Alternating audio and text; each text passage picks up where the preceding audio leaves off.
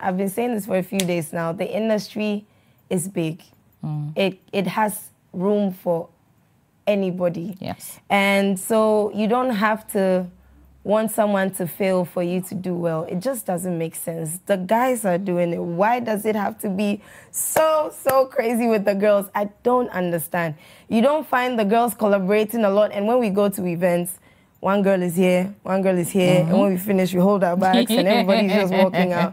I don't get it. The only one I sort of came close to was Efya. Mm. And so last year, it's, it's a conversation I've had so many times with my team. So last year, when I was getting out of my depression, my birthday, I celebrated it with Yes, everyone. About 200 I, I got women. that invite. Wow, yeah. That was brilliant. Yeah, and it was beautiful. It was beautiful. I had everybody, every type of woman. They had students there.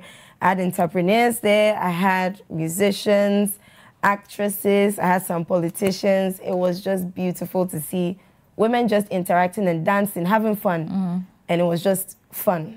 Yeah. So I, I, I want to try to do more of these things because I think we can win. The guys they are playing, we can win. They are. Yeah, we can win.